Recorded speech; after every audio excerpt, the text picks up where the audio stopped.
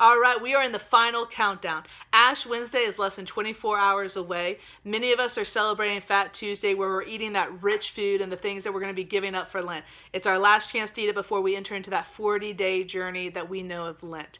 Tomorrow, with Ash Wednesday, marks the beginning of a beautiful liturgical season. And so let's make sure we understand some basic things about Ash Wednesday and the Lenten season. First and foremost, Ash Wednesday is not a holy day of obligation in the United States but it is a day that we a lot of us choose to go to mass to receive those ashes those ashes we receive are actually burned from the palm branches that we received last year during palm sunday and those ashes remind of us of a couple things when they put the ashes on our forehead they're in the sign of the cross right those ashes are actually a reminder of us that we are from dust and to dust we shall return right? Our eternity is with God in heaven. It's not supposed to be here in this world. At the same time, ashes are a sign of repentance and calling ourselves a sinner.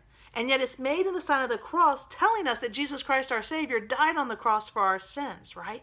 And so we are mindful of that. And that's why we wear those ashes in a cross on our forehead. Also on Ash Wednesday, as well as Good Friday, we are called to fast. And this is for all Catholics age 18 to 59. This means one meal and two smaller meals that don't equal a full meal. And so this is what we call when we say fasting. Now, we could choose to do a, a greater fast where we say we're only going to have bread or water. We're only going to eat a peanut butter sandwich or something to that nature. And we have that choice to do that.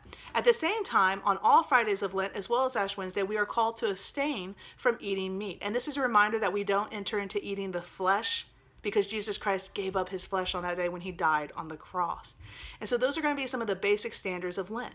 We're also called during the season of Lent to a 40 day journey. Now, this 40 day journey is modeled off of Jesus Christ, when after his baptism, he went into the wilderness to fast for 40 days and he was tested in the wilderness. This is actually modeled off of Israel as he was perfectly living what Israel struggled to do when they wandered in the wilderness for 40 years. And so we enter into a liturgical season of Lent for 40 days. And once again, this doesn't include the Sundays, but these 40 days, we are supposed to draw closer to God.